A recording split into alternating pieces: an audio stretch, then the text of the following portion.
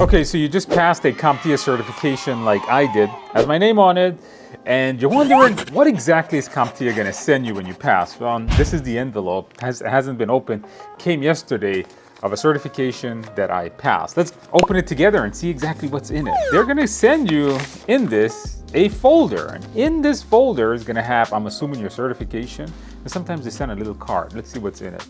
All right, so what's in this one is a certificate. This is the actual certification. And you notice this one here is the A plus certification. We're also gonna have a little tiny I guess card, a wallet card that you can put inside of your wallet to let folks know that, hey, you know what, you're certified also.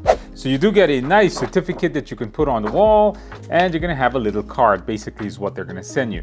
They do this for every single one of their certifications, A+, plus, Net Plus, Security Plus, CYSA, and so on. So that is what they send you. Now, I just took the new 1201 is it new anymore?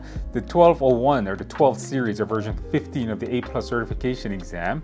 And I'm gonna be making a whole bunch of, I'm gonna be making a great video course on that. So stay tuned as that comes out within the next week or two.